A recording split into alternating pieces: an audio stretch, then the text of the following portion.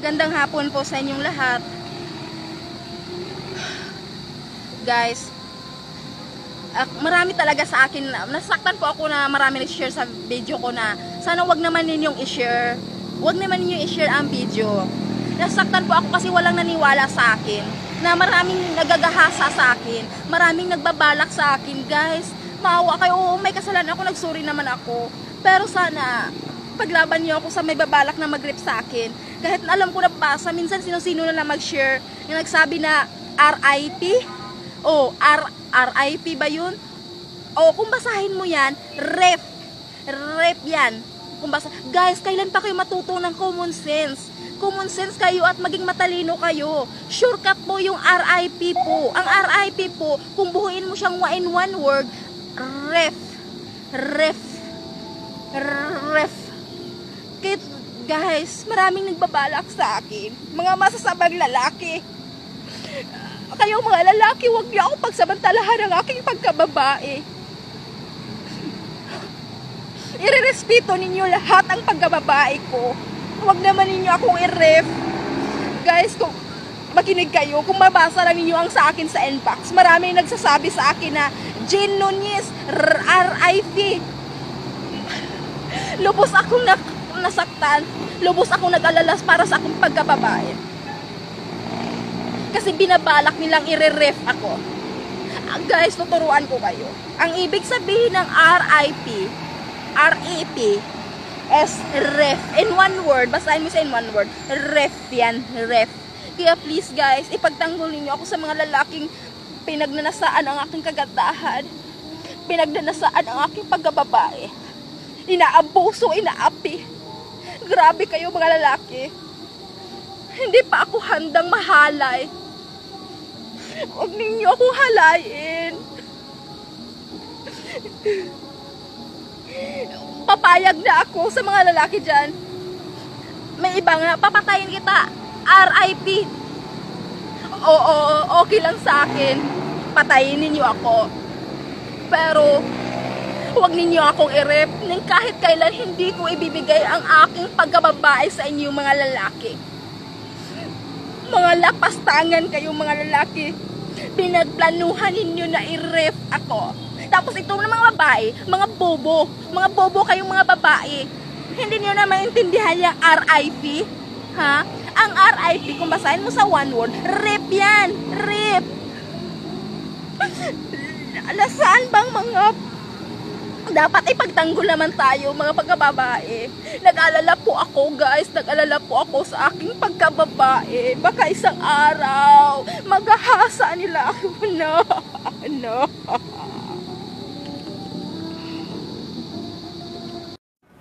Hello po, magandang magandang araw po sa inyong lahat, lalo na sa lahat all over the world in the Philippines. Um, gusto ko lang po sa regarding mag-sorry po sa regarding sa issue na pinagtatawanan ko daw ang Davao kasi may bomba, nabobomba daw. Actually po, kayo lang po talaga ang gumagawa ng issue ng ganon. Never ko pong pinagtawanan ang Davao.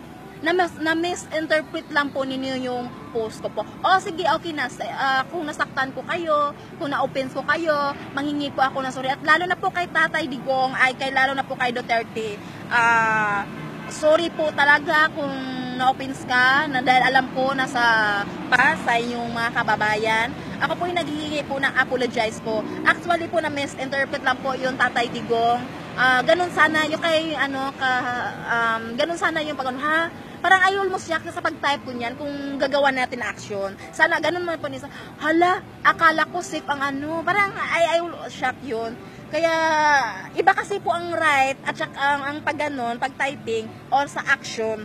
Kasi, parang may halong worried po talaga yon Hala, hindi po pala ag lahat against kaya sa kan ay, ah, hindi po lahat na ano, Parang ganun, hindi pala takot kasi binubomba, di ba? O kaya nag worry, with worried yun kung sa action natin gagawin. Iba po kasi na misinterpret, ano-ano na lang po yung ginagawa nila sa akin, ang sobra po sakit. At lalo po ako nasaktan doon sa sinasabi na kung makita kita, gas-gas, i-rip kita.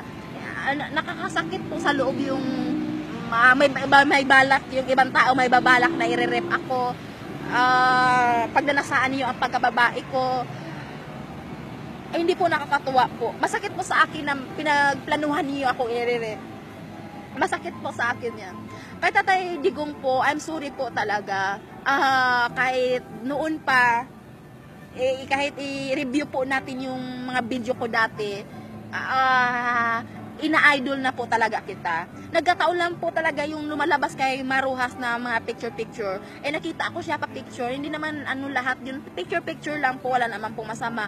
Tatay, ah, Mayor Duterte, ah, sorry po talaga kung nasaktan kita. Ah, at hindi, ay, isa ko lang po sasabihin sa inyo, hindi po ako masamang tao. Hindi po ako naging masaya sa pagbomba ng ano. Actually, inaano gawan, it is siyempre na binabash ninyo ako, nalalo po ako na sa challenge. Kapag once na ito ilabas, iba po kasi ugali ko. Kapag once mga negative yung mga sinasabi niyo, mat na ano na po ako. Pero, parte po sa mga ano yun, hindi po yan, an- nanghingi na lang po ako sorry. Sorry po talaga. Ayoko pong may masamang loob, lalong taga Davao, sorry po talaga. Mayor Duterte, sana po makarating itong video ko po ito kay Mayor Duterte. Alam ko kasi nagtitrending yun, nababasa niya. Ah, I'm so sorry po, Mayor Duterte. Hindi ko po talaga intensyon na masaktan ka. Ah, masaktan ka. Hindi ko po talaga intensyon. At sa mga tao naman po, oh, wag naman pong masobra. Patayin niyo ako, patayin. Pero wag naman niyo akong gagahasain. Na sabi niyo makikita niyo ako, gagasahin niyo ako. Natatakot po ako sa aking pagkababae. Natatakot po ako. Hindi po nakakatuwa na eh, isagasain ninyo ako. Gahasain ninyo ang pagkababae ko.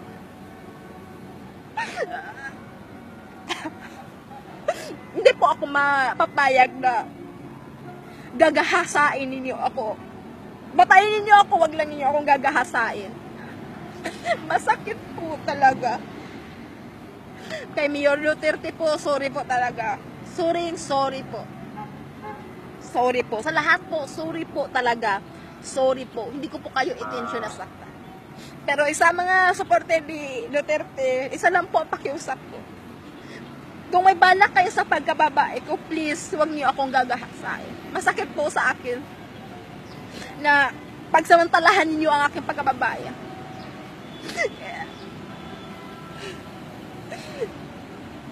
Masabang loob ko sa mga nagbalak mang rape sa akin. Patayin lang ninyo ako, wag lang niyo ako i-rape. Hindi ako mga dagaw. Salamat po sa lahat po kay Mayor. Salamat po.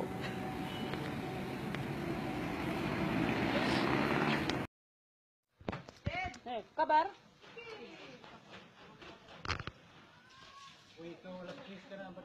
Saan ba may murang cellphone na Ha? Wala ka, stress. Picture lang. Picture yan. Video yan, buang. Oy, asan mas maganda ang, video ang picture? Ganun ka naman eh. Mahilig ka mag-picture.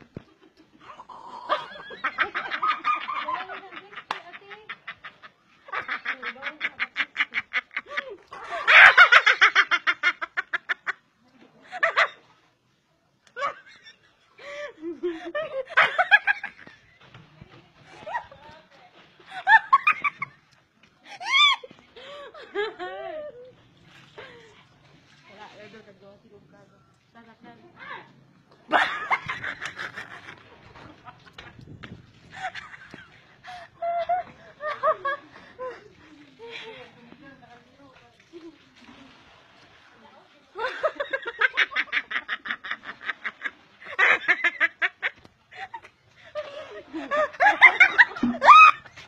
Ano model yung ano mo?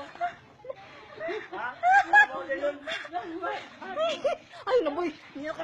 Ay, ay,